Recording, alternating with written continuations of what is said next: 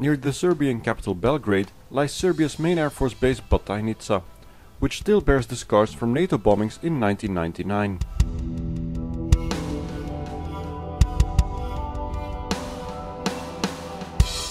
There are plenty of wrecks stored there of aircraft that are no longer in service. A wonderful opportunity to see some unique aircraft. To help celebrate the 100th anniversary of military aviation in Serbia, 16 countries sent aircraft or delegations to Batajnica. Serbian anti-aircraft missiles took pride of place, as they played a vital role in the country's defense against NATO in 1999, perhaps the most famous kill being the shoot-down of an American F-117 stealth fighter, or before that, the shoot-down of Scott O'Grady's US Air Force F-16 in 1995 over Bosnia.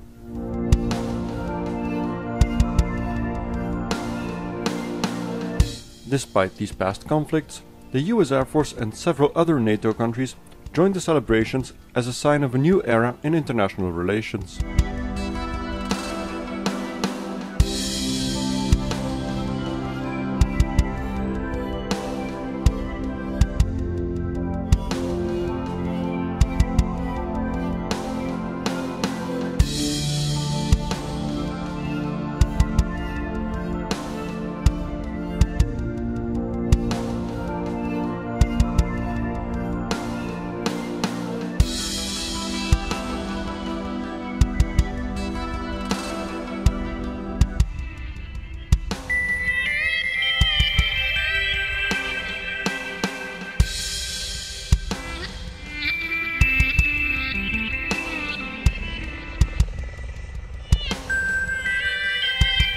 One of the hangars, the Serbian aeronautical industry presented its latest hardware.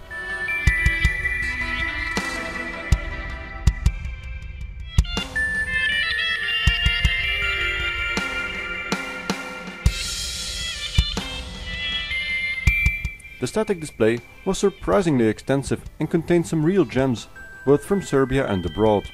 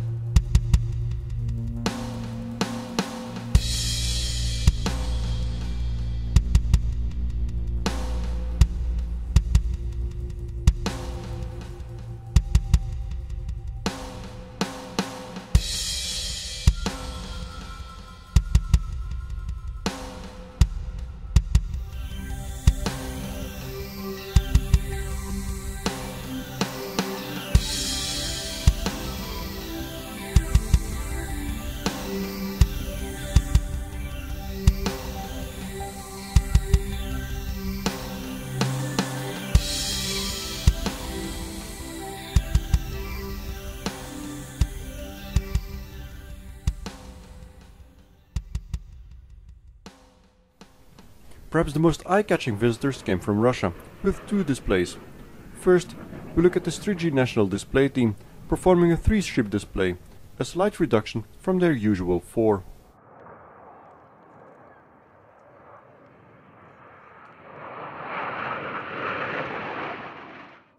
They are based at Kubinka and have become quite a rare sight outside of Russia since the 1990s.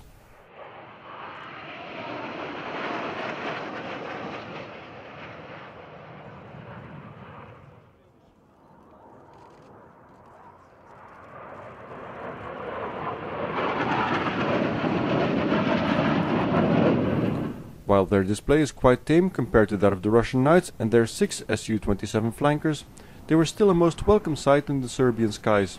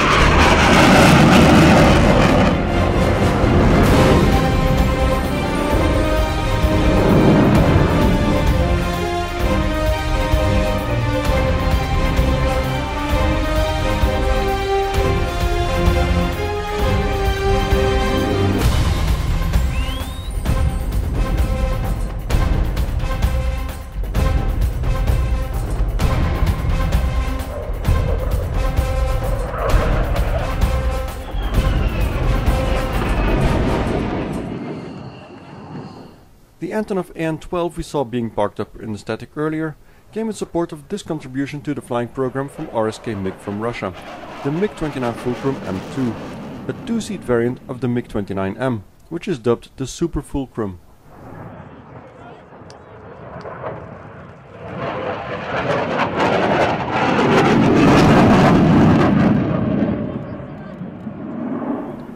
Compared to legacy Fulcrums, which are in use in Serbia, it has increased range, lower weight thanks to new alloys in the airframe, higher thrust, new avionics and ground attack capabilities with precision guided munitions.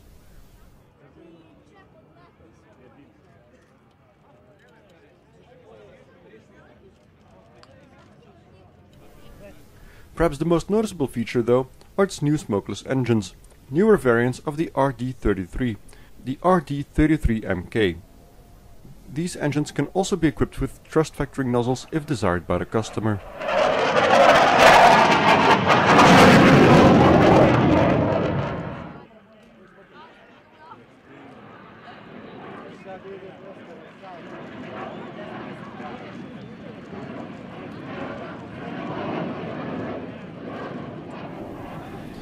There were also plenty of NATO countries featured in the display, including Italy with the Typhoon and C-27 Spartan display,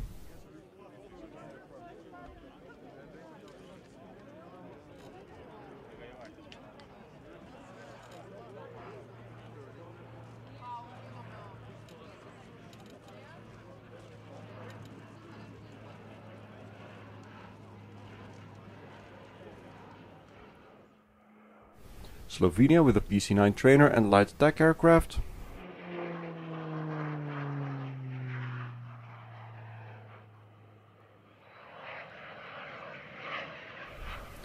Austria with the Saab 105.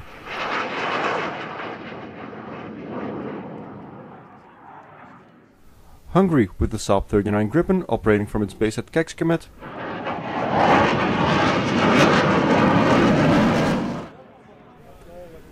and this Danish F-16 solo display.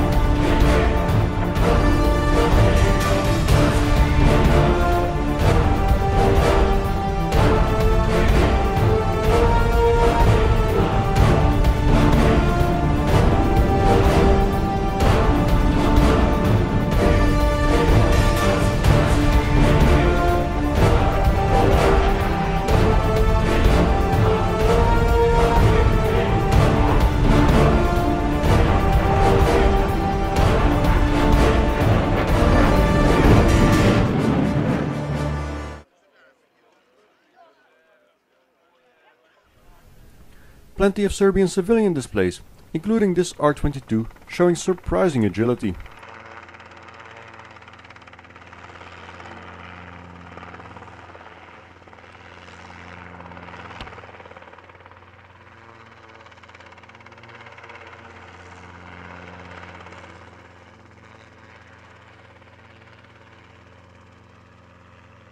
This R-22 is operated by the flight school Helimaster from Belgrade. The school was founded in 2010 by Gazelle display pilot Goran Crneta.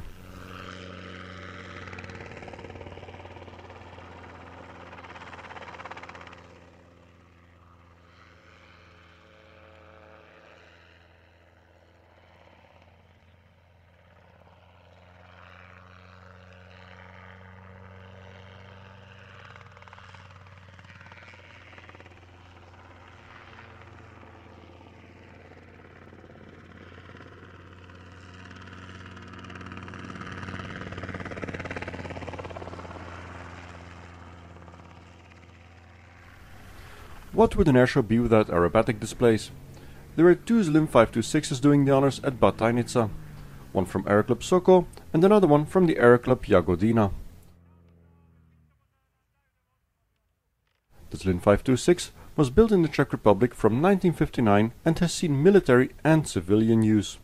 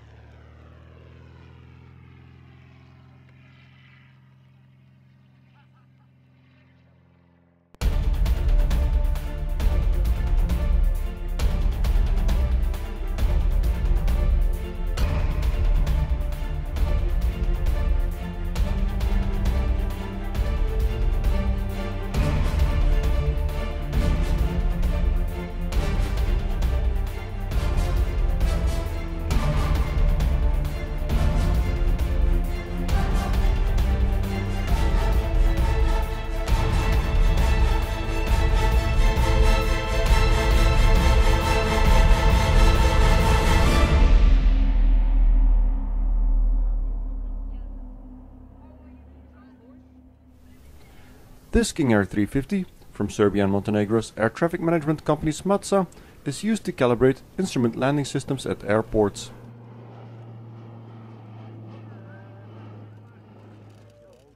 Serbian national carrier JAT took part with this ATR-72 regional airliner.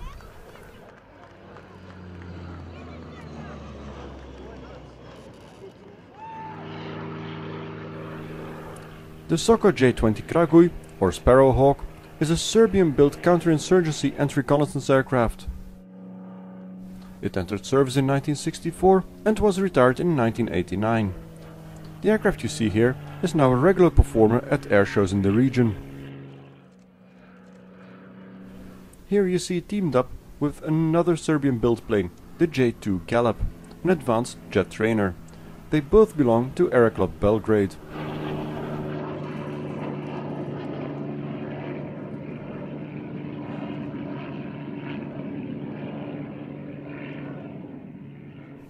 Another J2 Galeb, this one from Aeroclub Novi Sad, wearing the colors of the Serbian Stars display team.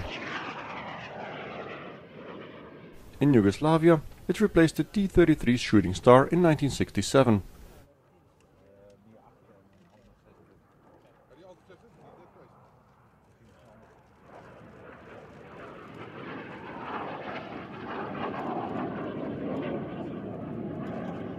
It was also used by Zaire, Libya and Zambia.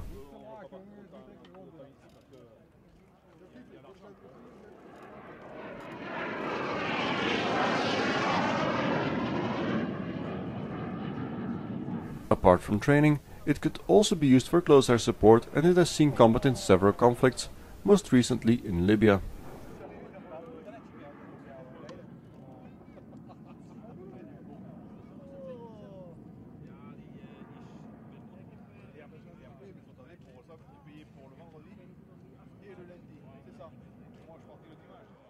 Here an excellent demonstration of the plane's low speed handling characteristics.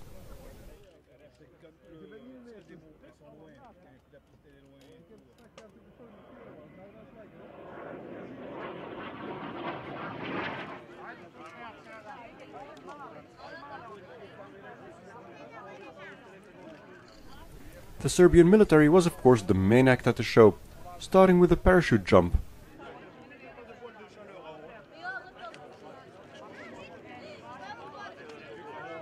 Then a series of formations giving an overview of the active aircraft in Serbian Air Force service, starting with the Lasta 95 training aircraft.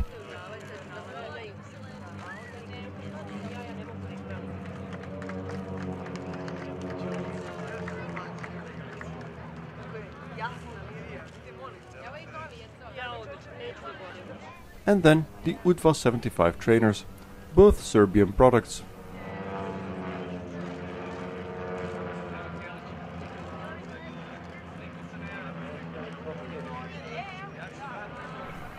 Then an Mi-17, followed by 8 Gazelles.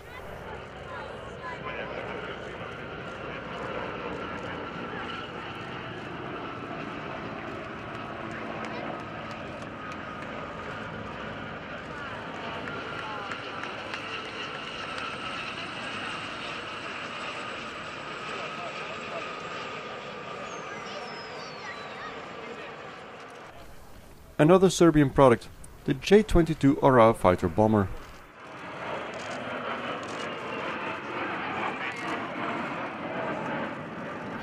Here, the Serbian fighter fleet, a MiG-21 leading three MiG-29 Fulcrums.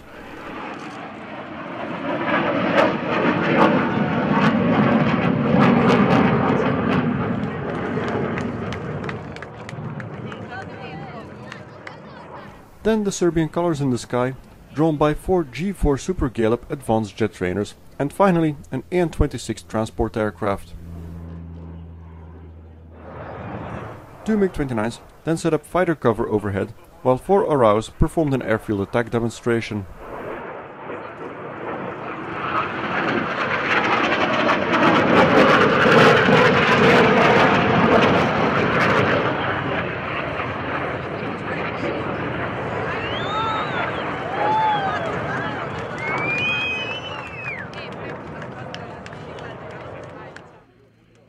Lasta 95 is a training aircraft produced by UTVA.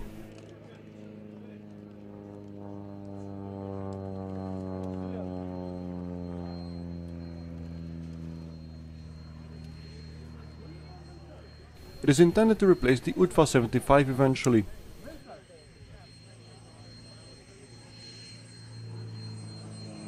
Development started back in 1985, but was halted during the civil war in the 1990s. It started again in 2006. Serbia has ordered 15 of these machines. Apart from that, 20 have been delivered to the Iraqi Air Force and there is an option for 16 more there.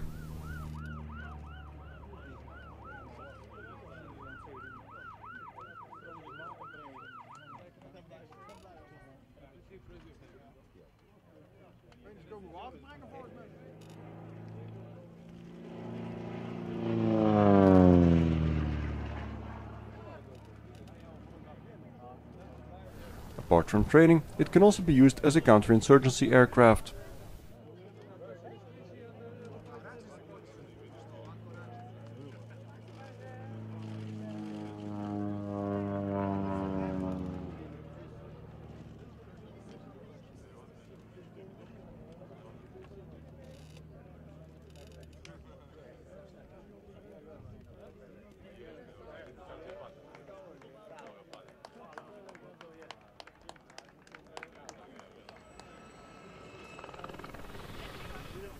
1971, Yugoslavia reached an agreement with French company Aerospatiale to have the Gazelle reconnaissance helicopter built under license by Soko, and these helicopters still serve today.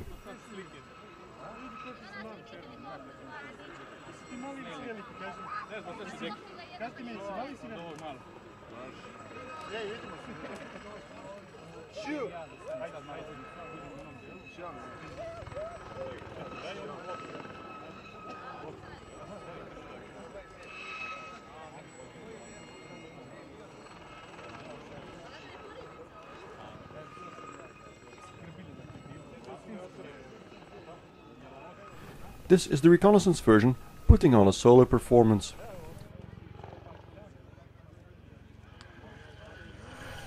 Serbia had more than 60 of these in service.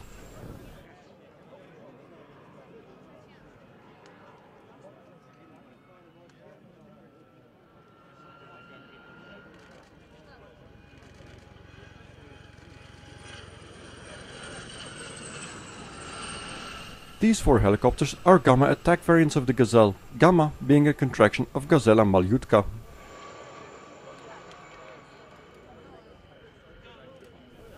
They can be armed with four wire-guided anti-tank missiles of a type known to NATO as AT-3.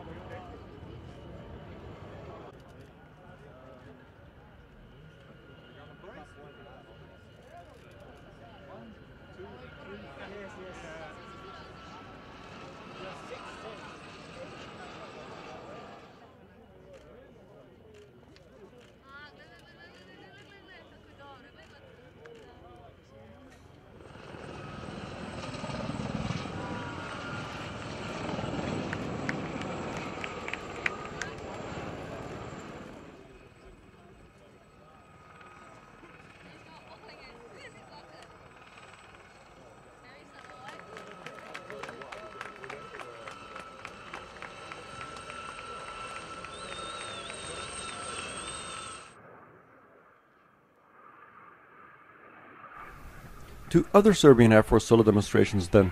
The G4 Super Galeb Advanced Trainer,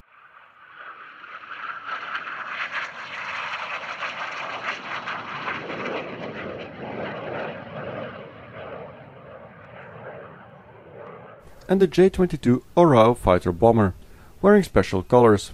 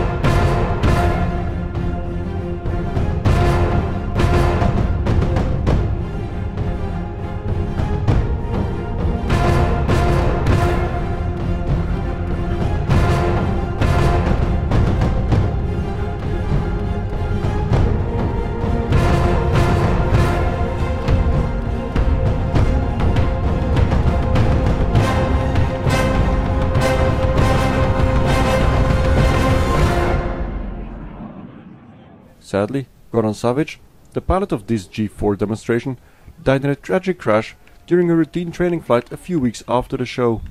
He stayed with the aircraft to make sure it would not come down on some houses near the Batajnica airbase. We conclude this report with a look at the dogfight demonstration between two MiG-29s and the lone MiG-21 of the Serbian Air Force, probably the highlight for most foreign visitors at the show.